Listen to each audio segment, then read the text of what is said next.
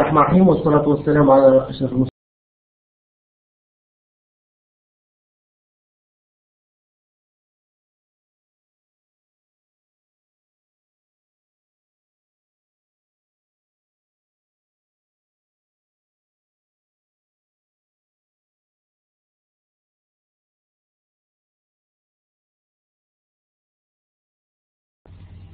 عفوا في مشكل فني اليوم.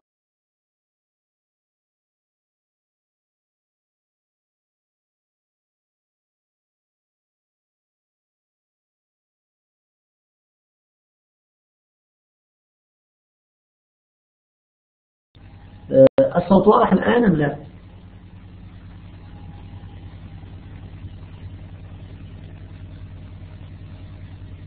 واضح؟ طيب. آه قلنا أن الصوت الحمد لله إن شاء الله الصوت إن شاء الله ما ينقطع. ما ينقطع. آه طيب قلت أن في الأسبوع الفارق آه قدمنا محتوى هذا المقرر وهو مقرر دراسة الجدوى وقلنا أننا سنعتمد إن شاء الله على الكتاب المرجع وهو كتاب الدكتور محمد دياب. الكتاب موجود في منتدى الفصول السابقة. اسم الكتاب هو دراسات الجدوى الاقتصادية والاجتماعية للمشاريع. الكاتب هو الدكتور محمد دياب. محمد دياب. طيب وقلنا أن الكتاب موجود في موقع أو في منتدى الفصول السابقة. طيب. وقلنا أن في الفصل التمهيدي سنبدأ ب بتقديم فصل تمهيدي يتحدث عن الاستثمار عن طبيعته عن أهميته وأهدافه. طبعا نحن عندما سندرس دراسات جدوى اقتصادية لمشاريع. هذه المشاريع هي مشاريع استثمارية. والهدف النهائي الأخير هو الوصول إلى قرار استثماري سليم. يساعد صاحب المشروع في تحقيق الأهداف التي يرمي إليها هذا المستثمر لذلك لا بد من قبل الشروع في معالجة مفصلية لدراسة أو دراسات جدوى المشاريع. لابد من التوقف في بعض من الإيجاز حول موضوع أو عند موضوع الاستثمار وما هو وما له علاقة بطبيعته وأهميته وأهدافه. وفي صفة عامة الاستثمار هو عنصر حيوي وفعال لتحقيق التنمية الاقتصادية في كل بلدان العالم. طبعا الاستثمار له دور كبير في الاقتصاد الكلي فهو عنصر كبير ومتغير من الانفاق الكلي بحيث زيادته أو نقصانه تؤثر على مستوى النمو وتؤثر على مستوى الطلب الكلي. لذلك نجد أن التغير في الاستثمار يؤثر على الإنتاج وعلى العمالة وعلى عدة متغيرات اقتصادية كلية. كذلك الاستثمار يساعد على تراكم رأس المال وعلى تضخيم الأصول الإنتاجية. ويضاعف أيضا القدرة الإنتاجية للبلد ويؤمن النمو الاقتصادي على المدى القصير والبعيد والمتوسط. لذلك كل زيادة في تؤدي إلى زيادات مضاعفة في النمو أو في الدخل من خلال ما يسمى بنظرية المضاعف. المضاعف طبعا تعرفتم عليه في الاقتصاد الكلي يعطينا كيف أن أو يعلمنا كيف أن زيادة في الاستثمار تؤدي إلى زيادات مضاعفة في الدخل. طبعا المشاريع الاستثمارية نظرا لأهميتها تجد أن معظم الحكومات في العالم تشجع وتضع القوانين والتشريعات التي من شأنها زيادة الحوافز أو الإجراءات المحفزة للاستثمار وبالتالي نظرا لأهمية هذا الاستثمار. كل دول العالم تقريبا تعتمد على الاستثمار لزيادة النمو الاقتصادي لتحقيق التوافق الكامل ولتحقيق النمو الاقتصادي بصفة عامة. وطبعا الاستثمارات متنوعة. هناك استثمار بشري مثلا عندما التعليم والصحة كل هذه تساعد على النمو وهي استثمار آه، بشري. كذلك هناك الاستثمار المالي عندما تشتري سندات أو أو أسهم أو غيرها من الأسواق المالية هذا استثمار مالي. وهناك استثمار حقيقي عندما تبني مصنع أو مزرعة أو أو أي شيء أو أي بلدة هذا استثمار استثمار حقيقي. وطبعا الاستثمارات متعددة ومتنوعة وتأخذ أشكال كبيرة كثيرة ومتنوعة لذلك آه، من أجل المفاضلة بين المشاريع المختلفة والبدائل المختلفة لابد أن نقوم بدراسة جدوى اقتصادية لتقييم البدائل الاستثمارية المقترحة وطبعا لابد أن نتخذ القرار الاستثماري على أسس علمية دقيقة وواضحة بعيدة عن الارتجالية وعن العشوائية. لتعرفون بأن الهدف من كل استثمار هو قبل كل شيء هو الربح. والربح يتطلب ماذا؟ يتطلب الزيادة أو التأكد من جدوى المشروع. نمر الآن إلى العوامل المحددة للاستثمار إذا أخذنا الكتاب الكتاب في الصفحة 16 صفحة 16 إذا كان عندكم الكتابة. طبعا السؤال هو ما الذي يدفع المستثمرين إلى الاستثمار؟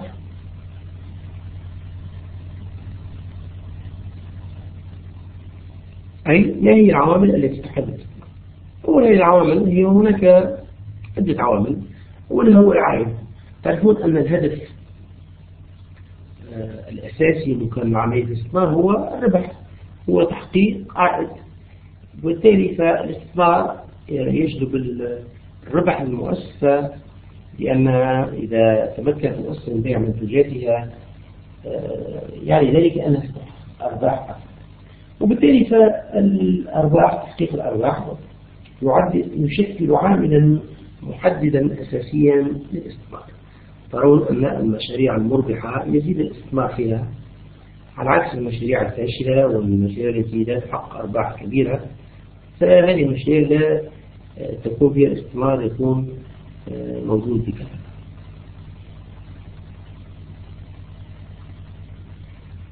إذا فالعلاقة بين الناتج والاستثمار هي علاقة إذا تبادلية أو علاقة طردية. كل زيادة في الاستثمار تؤدي إلى زيادة في الناتج وكل زيادة في الناتج وزيادة في الأرباح تؤدي إلى زيادة في الأرباح.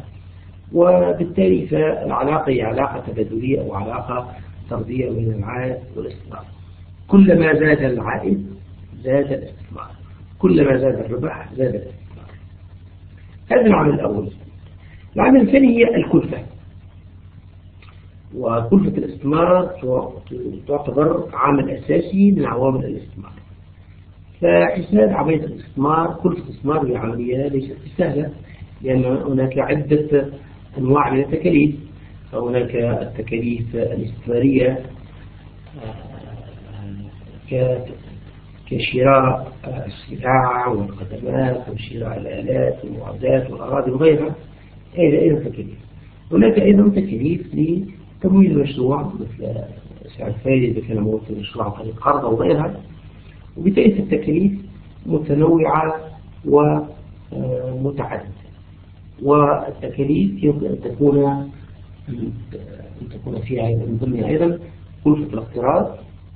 وكذلك يمكن أن تكون السياسة الضريبية يمكن أن تؤثر على الاستثمار فكلما زادت الضرائب زادت التكاليف ويكون الاستثمار في هذا القطاع وعلى ذلك آه، في يمكن أن تعطي الدولة بعض التخفيضات أو بعض الإعفاءات أو بعض الحوافز وتقوم بتخفيض الضرائب على قطاع معين فتضاعف بذلك الحوافز الاستثمارية في هذا القطاع كلما انخفضت الضريبة في قطاع ما فيعني ذلك أن الدولة تشجع الاستثمار في هذا القطاع وبالتالي تكون التكاليف الاستثمارية هذا القطاع تكون أقل. وبالتالي بكلمة العام الكلفة يعتبر عامل أساسي من عوامل الاستثمار. كلما كانت التكاليف مرتفعة كان الاستثمار أقل. كلما كانت التكاليف منخفضة كان عدد المستثمرين أكثر العامل الثالث والأخير من العوامل التي تؤثر في الاستثمار هي التوقعات فتوقعات المستثمرين في آه، الوضع الاقتصادي وثقتهم في الوضع الاقتصادي والاجتماعي والسياسي والأمني للبلاد والمنطقة بصفة عامة يؤثر على الاستثمار لأن الاستثمار هو في الحقيقة عمل مغامر في مغامرة كثيرة وبالتالي فهو ينطوي على درجة معينة من المخاطرة لأنه مبني على التوقعات وعلى التنبؤات بالأحداث المستقبل بالأحداث الماضية. وبالتالي فالقرارات الاستثمارية تتوقف على التوقعات وعلى التنبؤات بالأحداث المستقبلية فإذا توقع فلذلك المستثمرين يبذلون يبذلون جهدا كبيرا في تحليل الأوضاع الاقتصادية والاجتماعية والسياسية والأمنية في البلاد. للتقليل قدر الكلام أكثر ما يمكن من الخطر ومن عدم التأكد المرتبطين بالإستثمار. ويمكن تلخيص هذه العوامل آه، عفوا آه، قبل ذلك. بالتالي فإذا توقع المستثمر ازدهار اقتصاديا ونمو اقتصاديا وانتعاش في السوق فهو سيقبل على الاستثمار. أما إذا توقع أزمات وصعوبات وزيادة الأسعار وغيرها فالاستثمار سيصبح أقل. وبالتالي فالتوقعات تعتبر عاملا أساسيا من عوامل الاستثمار. وبجد العام نلخص الموضوع هناك ثلاث عوامل أساسية تحدد الاستثمار. وهي أولا العائد أو الربح. ثانيا الكلفة أو التكاليف الاستثمارية وثالثا التوقعات. وطبعا كل التوقعات آه، عفوا توقعات المستثمرين بشأن الوضع الاقتصادي والاجتماعي والأمني في البلاد تؤثر أيضا على الاستثمار لأن الاستثمار بطبيعته عمل مخالف. نمر الآن إلى الأسس والمبادئ العلمية لاتخاذ اتخاذ القرارات الاستثمارية. 18 الأسس والمبادئ العلمية لاتخاذ القرارات الاستثمارية. طبعا للوصول إلى قرار استثماري سليم لابد من أخذ آه، الأخذ بعين الاعتبار العاملين التاليين أولا يجب أن يعتمد اتخاذ القرار الاستثماري على أسس علمية ويتطلب ذلك ويتطلب ذلك تحديد الاستثمار الهدف الأساسي من الاستثمار. ثم تجميع المعلومات اللازمة ثم تحديد العوامل الملائمة التي يتم من خلالها تحديد العوامل الأساسية لاتخاذ القرار وكذلك تعقيد العوائد المتوقعة واختيار البديل أو الفرصة الاستثمارية المناسبة لكن على من يتخذ القرار الاستثماري أن يراعي بعض المبادئ والمعايير عند اتخاذ القرار الاستثماري ومن كان هذه المبادئ مبدأ له نبدأ تعدد الخيارات أو الفرص الاستثمارية نبدأ تعدد الخيارات أو الفرص الاستثمارية ما يعني؟ يعني ذلك أن وهذا مبدأ مبدأ هام جدا آه، في الاستثمار يعني ذلك أن الفرص الاستثمارية في الاقتصاد عادة تكون؟ متنوعة ومتعددة. لكن آه، يجب اختيار لذلك لا يجب التسرع عن اختيار الفرصة الاستثمارية ويجب التريث والتفكير جيدا والقيام بالدراسة اللازمة لاختيار المشروع الاستثماري اللازم ويجب أن لا نقضى على أول فرصة استثمارية ونقوم بتنفيذ عملية الاستثمار. وبالتالي لابد أن نكون أن نختار الفرصة الاستثمارية اللازمة ونأخذ وقتنا ونفكر كثيرا ونقوم بالدراسات اللازمة قبل اتخاذ القرار الاستثماري في شأن هذه الفرصة الاستثمارية. وبالتالي فاتخاذ القرار الاستثماري المبدأ الأول هو أن الخيارات والفرص الاستثمارية متعددة ومتنوعة وهي كثيرة. لذلك لا يجب الاستعجال والاستثمار استثمار كل أموالك في أول مشروع يصادفك المبدأ الثاني هو مبدأ الخبرة والتدريب. يعني الوصول إلى قرار استثماري سليم يتطلب مستوى معين من الدراية والفكرة. فهذه المسألة وهي مسألة الخبرة في بعض الأحيان لا تتوفر عند بعض المستثمرين لكن من له الأموال ويريد أن يستثمرها عليه أن يستشير أصحاب الخبرة ومثلا من الخبراء التي مهمتهم تتمثل في تقديم الاستشارات الاقتصادية وكذلك أصحاب المكاتب الاستثمارية والمستشارين والمهندسين وغيرها والعارفين بمجال الاستثمار. وبالتالي أنت إذا لم تكن لا تكن لم تكن لديك الخبرة لازمة في في هذا الموضوع أو في هذا المجال يمكن أن تستشير أصحاب الخبرة وأصحاب القرار وأصحاب المكاتب الاستشارية لكي يقدموا لك المعلومات اللازمة حول هذا المجال حول هذا الاستقرار ثالثا المبدأ الثالث المبدأ الثالث هو مبدأ الملائمة. يعتبر مبدأ الملائمة أيضا من الأركان الأساسية التي يفترض للمستثمر مراعاتها عند وضع استراتيجيته الاستثمارية فلا بد من اختيار المجال الاستثماري المناسب والبديل المختار من بين عدة بدائل مقترحة. لذلك فالاستثمار مرتبط ببعض بعمر المستثمر بإمكانياته المادية بوظيفته باختصاصه ببيئته الاجتماعية وغيرها. مثلا مثلا أنت مسلم مثلا يجب أن لا تستثمر في قطاع كقطاع مثلا بيع الخمور وغيرها مثلا. لماذا؟ لأنك تريد تستثمر مثلا في السعودية. بيئة مسلمة لا تستطيع قانونيا لا شرعيا أن تستثمر في هذه المجال في هذه المجالات وبالتالي فعند اختيار القرار المشروع المناسب لابد أن تحترم مبدأ الملائمة. لا تستثمر أو لا تفتح مشاريع في بيئة غير ملائمة.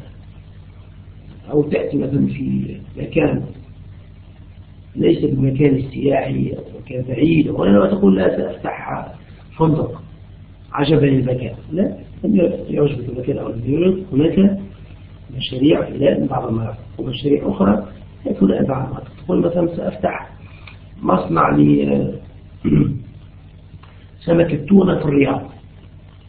هذا المشروع غير ملائم لهذا المكان لأن السمك يأتي من البحر فمن الأفضل إقامة هذا النوع من المشاريع في مدن ساحلية ومدن على شاطئ البحر.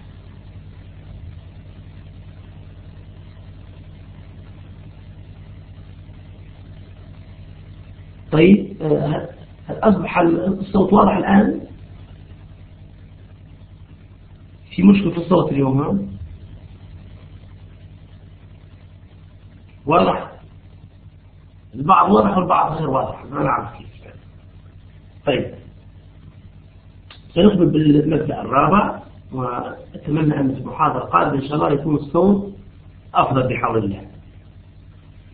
طيب قلنا أن المبدأ الرابع هو مبدأ التنوع أو توزيع المخاطر الاستثمارية. مبدأ التنوع صفحة هذه عشرين. صفحة عشرين.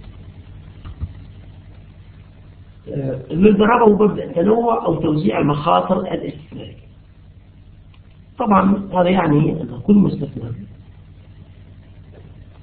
يجب أن لا يستثمر كل أمواله في مجال واحد. حتى إذا ضربت الأزمة مجالا معينا يجد المجال الآخر الذي يمكن أن يعوض فيه بعض الخسائر. وبالتالي يجب تنويع وتوزيع المخاطر الاستثمارية. صاحب المشروع المستثمر الحذر يجب أن ينوع في استثماراته ولا يركز على مجال واحد فقط حتى آه، ممتاز المثل آه، طبعا المثل المعروف هو لا نضع البيض في سلة واحدة لماذا؟ حتى إذا سقطت السلة أه؟ لا يكسر جميع البيض تقصر فقط في السلة التي سقطت أما إذا نوعت في الاستثمارات وضعت البيض كل كمية من البيض في سلة في عدة سلال فإذا سقطت سلة واحدة يتكسر بعض البيض وليس كل البيض وبالتالي البيض كأموال لا نضع أموال في مجال واحد. نوع مجال. حتى إذا خسرت في مجال أو في قطاع معين يمكن أن تسترجع واحد في قطاع آخر هذه الأربع مبادئ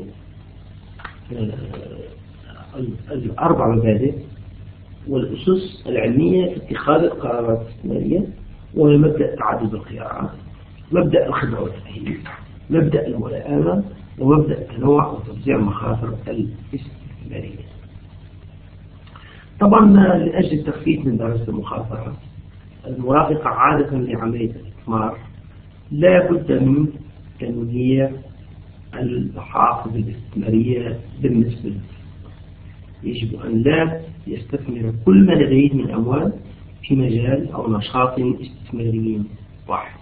بل من الأفضل تنويع هذا تنويع مجالات الاستثمار قدر هذا إذن هو الفصل التمهيدي الذي تحدثنا فيه اليوم حول آه، الاستثمار لأن الاستثمار هو آه، أساسي في كل عملية استثمارية لأن الاستثمار هو عنصر فعال لتحقيق النمو الاقتصادي ولا يمكن أن تنمو دولة بدون أن يكون فيها آه، استثمار آه،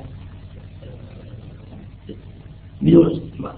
لأن الاستثمار يعتبر عنصر أساسي من عناصر الطلب فإذا زاد الطلب الكلي فبطبيعة الحال يؤدي ذلك إلى زيادة الإنتاج وإلى زيادة في الدخل. إذا نعتذر اليوم عن التأخر نوعا ما في هذه المحاضرة لأن ذلك كان بسبب بعض الصعوبات الفنية التي لاحظناها اليوم وأتمنى غدا أن تكون المحاضرات أوضح أو الصوت يكون أوضح. غدا إن شاء الله سنبدأ بالفصل الأول. وهو فصل فيه عن دراسة الجدوى الاقتصادية بصفة عامة عن مفهومها وعن مراحلها. ثم نبدأ بالمرحلة الأولى من مراحل دراسة الجدوى وهي الدراسة القانونية. إذن بإذن الله سنلتقي غدا إن شاء الله. طبعا أذكركم أن الكتاب موجود على منتدى الفصول السابقة وسأحاول إن شاء الله. أعطيكم الرابط في اليوم وبكرة بالحولان أعطيكم الرابط لكي إذا تجدوا رابطا لهذا الكتاب. شكرا على آه، إن شاء الله نلتقي شكرا على حسن انتباهكم ونلتقي إن شاء الله. بكرة إن شاء الله. السلام عليكم ورحمة الله.